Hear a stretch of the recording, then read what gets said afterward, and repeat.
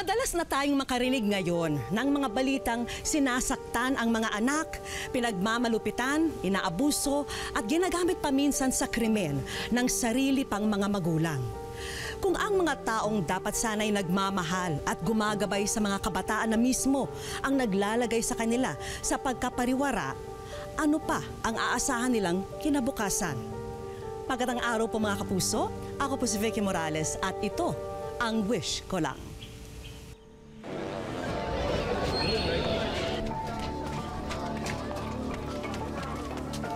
Sisi po, sisi po. Ay, Haran! Haran!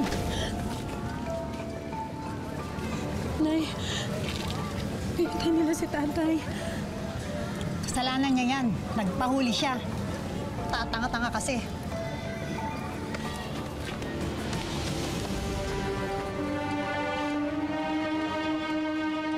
Hoy, yung mga tong ha, mukhang nagkakalimutan. Yun tong. Ayan na pala hmm, Puro kape, puro kape. Yun tong ha. Ako. Oh, Princess, eto muna kainin mo. Kakasain ko lang yan. Ate, tignan mo si nanay. Mas binabantayan niya pa yung sugalan kaysa kay tatay. Palibhasa kasi may kinikita siya dyan. Kamaingay. Pag narinig ka niyan, sasaktan na naman tayo. Subukan niya. Lalabanan ko na siya. Huwag ka magsalita ng ganyan. Nanay pa rin natin siya. Pero anong mangyari, hindi tama, nalabanan natin siya.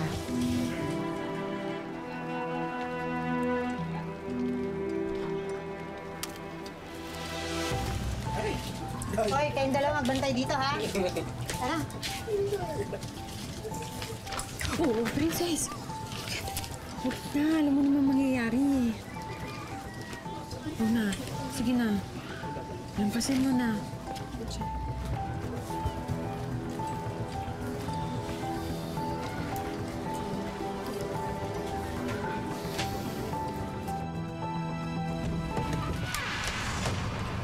Ay, ano ba? Hindi ba talaga kayo nahihiya?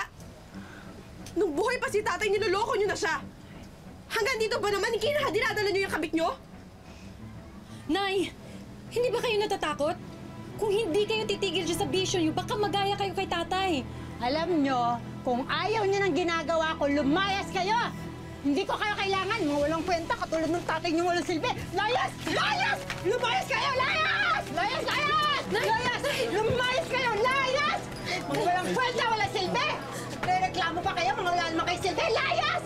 Hindi ko kayo kailangan dito. Layas! Lumayas kayo! Layas! Huwag kayong babalik dito ng dalawa, ha? Layas! Wisit kayo, walang kwenta!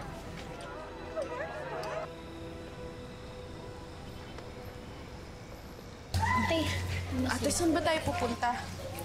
Kilala mo lang muna. Doon muna tayo titigil. Oh, Princess! Maylin, ikaw pala yan. Ang ginagawa niyo dito? Naglayas ba kayo? Ah, hindi. Inalayas kami ni nanay. Maylin si ate charm ko pala. Ate si Maylin. Ah, wala kayong matutuluyan? Sumama na lang kayo sa amin. Malaki kita dito. Tsaka magaganda kayo. Sigurado maraming kukuha sa inyo. Charm! Si Lolo. Princess! Lo! Uy, mabutit nakita ko kayo. Paano ho, Lo? Ano ba kayo? Galing ako sa burong ng tatay niyo, wala kayo ron. Eh, Lo, pinalayas po kasi kami ni nanay. Talaga yung nanay niyo, oh. Walang kapag-apag-asa. Mailibing na ang tatay niyo. Hindi na natin siya gagambalain. Kawawa naman itong mga apo ko. Ay, sakay na kayo at ah, uwi na tayo. Salamat ho, Lo. And Dad, Gabi na eh. Dito natitira ang mga yan, Tay. Tayo-tayo nga lang, wala na tayong makain dito. Nagdagdag ka pa ng palamunin. Gina, bahay ko to. Ako ang naghahanap buhay. Ako lang ang naghahanap buhay. Kaya ako masusunod. Eh, hindi naman sila anak ng anak natin, ah. Ising, Mag-iingat ka dyan sa pagsasalita mo. Um, hello. Bukas na po kasi yung libing ni tatay. Paano po yun? Pwede, pupuntahan natin ang burol ng tatay nyo. At huwag kayong matakot doon sa nanay nyo. Hindi ko kayo pababayaang saktan niya. Eh, Tay, pupunta naman pala kayo bukas dun sa burol. Eh, ba't hindi mo pa isauli yung dalawang yan dun sa nanay nila? Para pabayaan sila ulit? Aantayin ko pa bang may mangyari sa kanilang masama bago ko sila kukupin? Mga apo ko sila at mga pamangkin mo. Kaya dito sila titira at yan ang desisyon ko.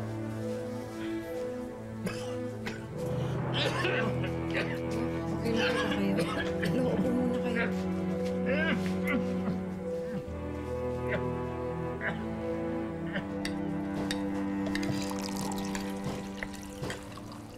Apo, apo, wag. Bakit po?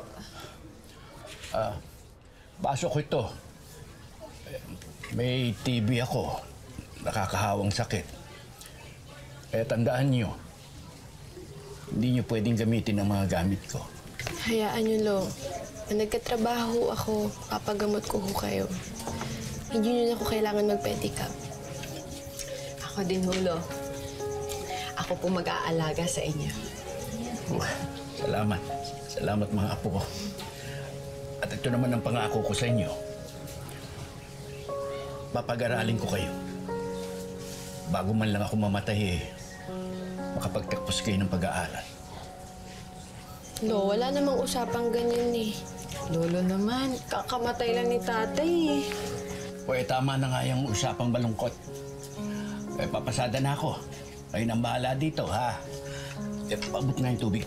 Di po, Lo. Ingat po kayo, Lo. Ah, Sige. Ingat po. Po.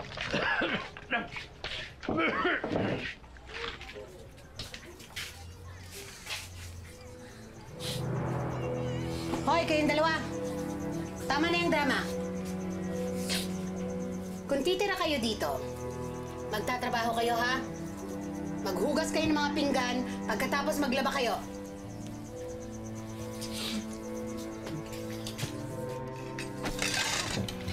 Bakit po?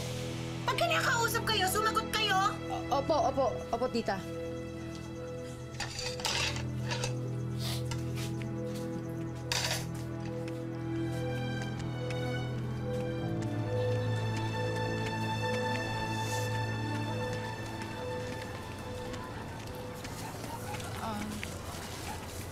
Tita, ba't po tayo nandito? Tsaka, bakit ho kami pinagsuot ng mga luma? Dahil malayo ito sa ruta ng lolo ninyo. At kaya ganyan ang mga suot ninyo dahil mamamalimos kayo. Ang mamalimos ho? Bakit naman po, tita? Sasabihin ninyo kasama kayo sa nasunugan ng isang gabi, ha? Humingi kayo ng tulong. Ah, tita, teka lang po, tita. Tama, tama na po. Kung tao pinagsasabi mo. Oh, tapos sasabihin ninyo, wala kayong naisalba kahit Tama, na tama isang na po, gamit. okay. Ano, ano ba? Wala kayong naisang, naisalbang kahit na isang gamit. Humingi kayo ng awa, okay? Tita, tama na po. Ah, tita! Ano ba, ha? Umiyak kayo! Makiawa kayo! Manghingi kayo ng tulong! Ang sabi ko, umiyak kayo! Iyak! Iyak pa! Ayan! Marunong naman palang iiyak eh! Ito ang tatandaan ninyong dalawa ha. Huwag kayong uuwi na wala kayong dalang pera. Naintindihan niyo ako? Naintindihan niyo ako? Sige na!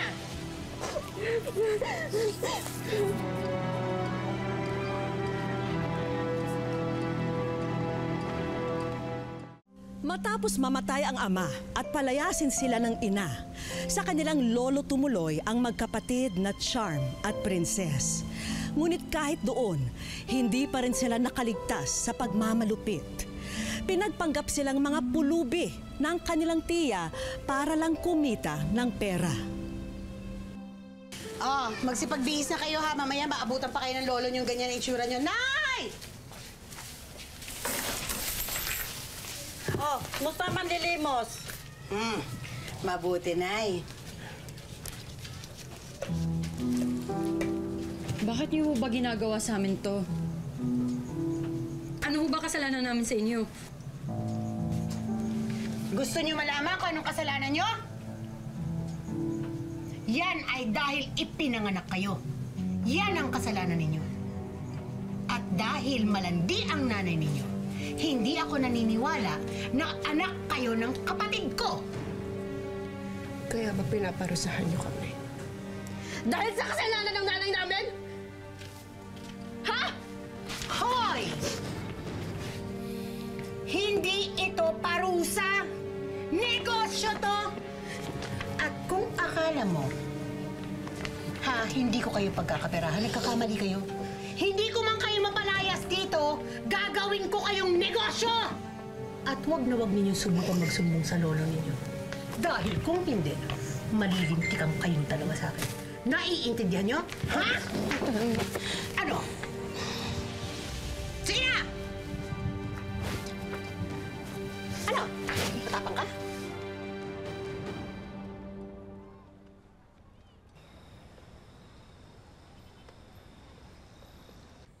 Ito na ako. Ano? Mano po? Ay, kauwang kayo, kauwang kayo. Tay, kain ka na. Pinakain ko na yung mga yan kanina. Nauna na. Halika na. Uy. Ay, kayong dalawa, tignan nyo to.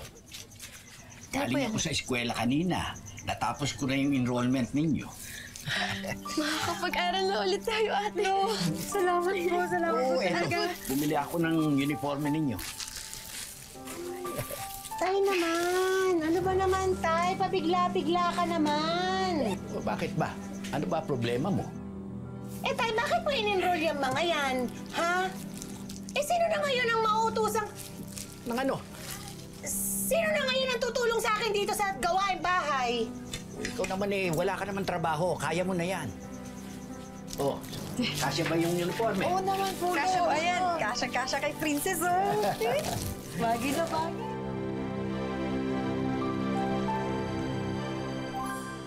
Kagaya ng pangako ni Lolo sa kanila, nakapag-aral muli ang magkapatid. At dahil naman sa pagsisikap ni Charm, nakakuha siya ng scholarship. Pero hindi pa rito natatapos ang kanilang mga problema. Nakikita niyo to? Shabu to, ha? I-deliver niyo to dito sa address na ibibigay ko. Ingatan niyo kasi hindi dito sa payong nakaipit. Pero, tita, illegal ho yan eh. Baka po mahuli kami. Abay, kung magpapakatanga kayo, oo, mahuhuli nga kayo. Pero sa palagay ninyo, bakit kayong inuutusan ko? Kasi mga estudyante kayo, hindi kayo paghihinalaan. Pero tita, wag naman po. Hindi po namin kaya. Kaya nyo at gagawin ninyo.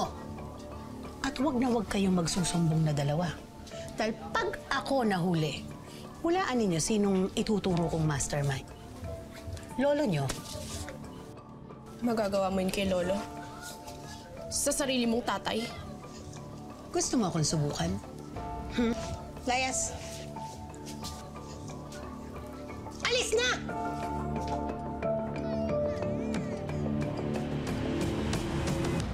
Tuloy-tuloy lang. Huwag ka papahalata. Hindi mo ba Mga miss, sandali lang. Bakit? Bakit ho? Ginagabi yata kayo, ah. Ah, gumagawa ho kasi kami ng project. Medyo napagabi lang ho. Pwede ba makita mga bag niyo? Nakabalik sa pag-aaral sina Charm at Princess sa tulong at pagsisikap ng lolo nila. Pero ipapain din sila sa kapahamakan ng kanilang tiya. Ginawa kasi silang mga runner o tagapaghatid ng iligal na droga.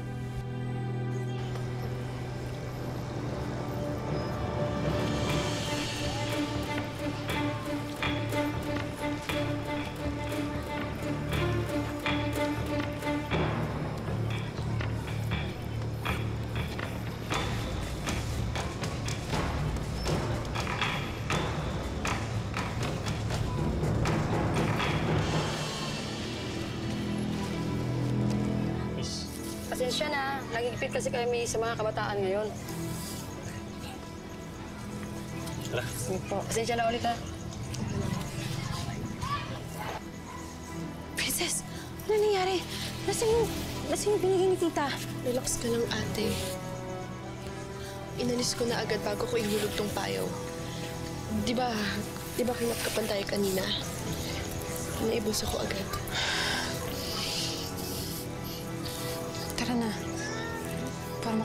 Tapos na natin to.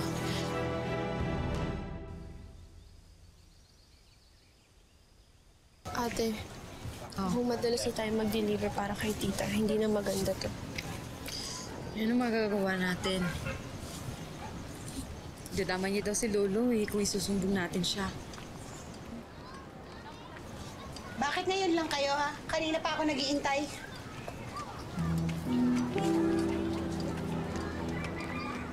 Oh, eto. Ayan, ha? Tita, libro ko ho to. Oh, uy, ano ngayon? Bakit umaasa ka ba? Nagagraduate ka pa? Lumalala na ang TV ng lolo mo. Bago ka pa makagraduate, patay na yon. Sumusobra ka na. Ginagamit ko pa po to! Gamit ko to, tita eh! Oy, ano ngayon? Ha? Lalabang ka? Ha? Lalabang ka na? Ano? Lalabang ka na? Ha? Lalabang ka na? Nakapag-aral ka lang ng konti, yumabang ka na? Ha? Ha? Tita, tama na po. Pwede balik ko sa kanya. Ito pinagmamalaki. Princess, tama na. Tita, wag! Tita, wag! Tita, please. Tita, tita, gamit ko yan! Asan ngayon ang yabang mo? Ha? Ano?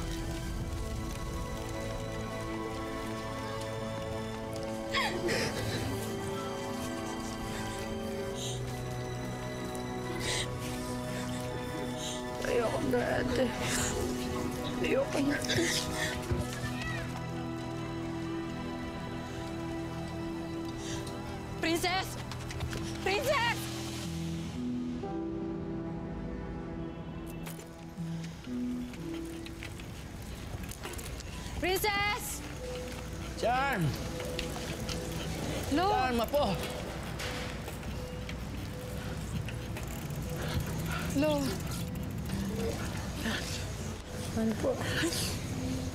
Patawarin mo ako, Apo.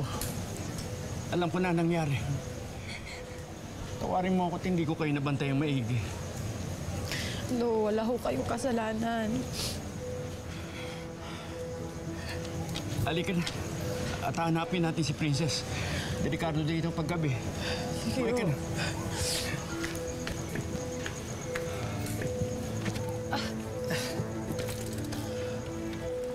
Princess! Apo! Princess! Princess!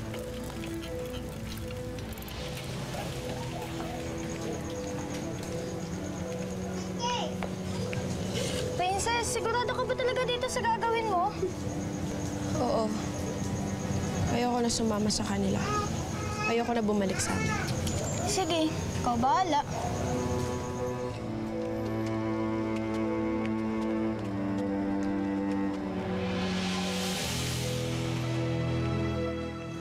Po kayo.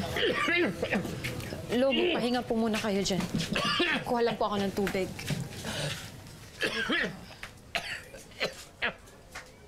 Ano ka naman, Tay? Tigilan mo na nga yung kakahanap sa apo mong suwail. Ni hindi mo nga alam kung buhay pa yan o patay na. Tumigil ka nga, Gina! Hindi bastos ang apo ko. Ikaw ang may kasalanan nito. Ikaw! Ay naku, bahala ka na nga, Tay. Lo, tubig ko. Lo, lo, po muna. Lo. Lo! Lo! Lo! Tulong! Wait! Alo, alo,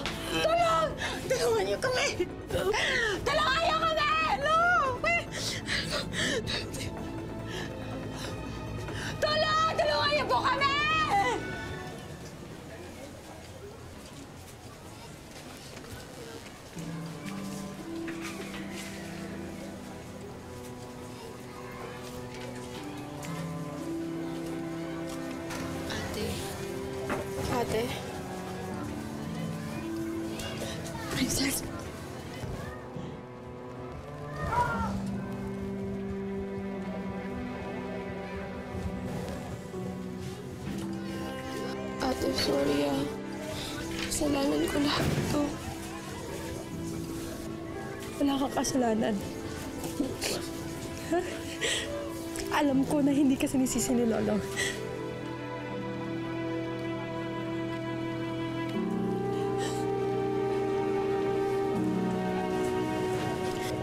Aba, aba, aba, may nagbabalik.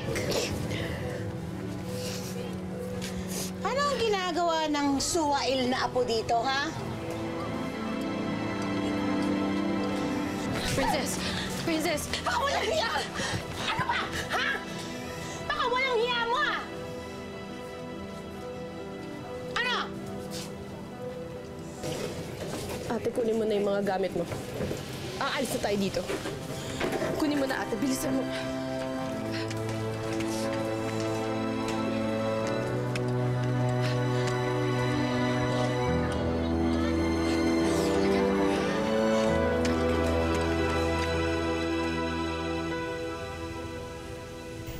Ba ang hindi manlulumo sa pinagdaanan ng magkapatid na sina Charm at Princess sa kamay mismo ng sariling kadugo simula pa noong kanilang pagkabata?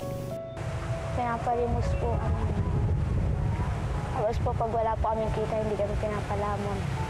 Tinuturoan niya ako ng droga. Tapos po, ano, ibubugaw, binubugaw niya ako.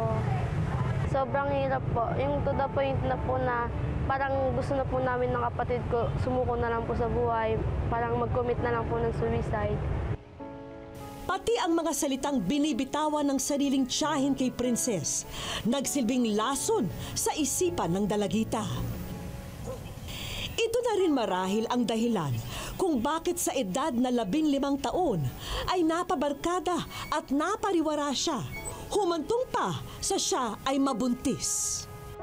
Yung lola ko po, tas tita ko po, lagi pong pinapamukha sa kanya na ano, pokpok siya, ganon. Lagi po siyang sinasabihan ng ganon, pinapaya sa mga kapitbahay po. Pangarap ko na lang po maging mabuti nanay sa anak ko. Sa ngayon, tanging ang alaala na lamang ng pinakamahalagang tao sa kanilang buhay ang lagi nilang binabalik-balikan. Kapag kasi naiisip nila ang namayapang lolo, nababawasan daw ang mga bangungot na hanggang ngayon ay namamahay sa kanilang isipan. Kasi po nung panahon pong buhay yung lolo ko, kahit po ano, kahit po nangyari po sa amin yung mga ganon, kahit pinapahirapan po kami ng lola at lola, ng, lo- ng lola at saka tita ko po. Yung lolo ko po kasi yung laging nandyan.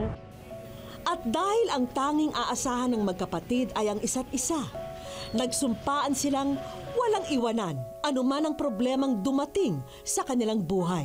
Lagi niya pong binabilin sa akin na nung tapos po ako ng pag-aaral, namaling ko po yung kapatid ko kasi siya na lang po yung kasama ko sa buong buhay ko. Gusto po talaga makapagtapos ng pag-aaral. Kung, kung ano nga po, yung balak nga po, gusto nga po namin magkaroon ng negosyo tas para po ano, para po makatulong sa pinansyal. Dahil paparating na ang pinakabagong miyembro ng pamilya ni na Charm at Princess, Gender Reveal Box ang aming magiging instrumento para sa isang extra special na sorpresa. Sa ngayon na nga, may kanya-kanyang hula na ang mag-ate kung girl o boy ang magiging baby ni Princess.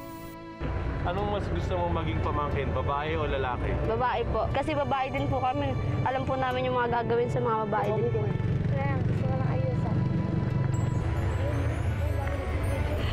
Gayunpaman, alam din namin gusto nila na sa mismong araw ng kapanganakan nila e malaman ang kasarian ng bata.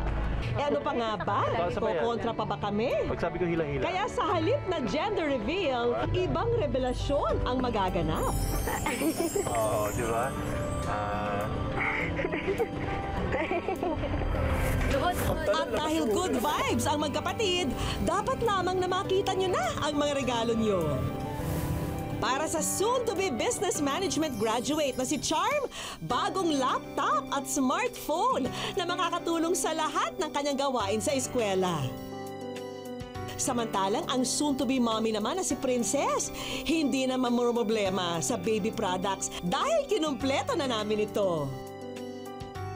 At ang pagsisimulan ng joint bank account ng mag-ate, ang bagong negosyo na siguradong papatok sa kanilang tinitirhan ngayon. Siguraduhin nyo lang, Charm at Princess, ha, na panalo lagi ang sauce at ma-sold out ang squid ball, kikiam at chicken balls. Maya-maya pa'y tumambad na ito sa magkapatid. At gaya ng inaasahan, labis na tuwa ang agad nilang naramdaman. Sobrang saya po kasi hindi ko po ina-expect yung ganito. Kala ko po hindi po darating sa buhay namin yung ganito. Maraming salamat po. Sobrang saya po namin.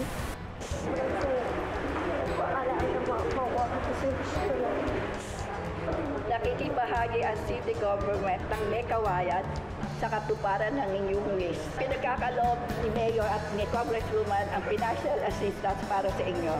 Maraming salamat po. Sa educational assistance, makakatanggap pa rin ikaw ng tulong mula sa kanila.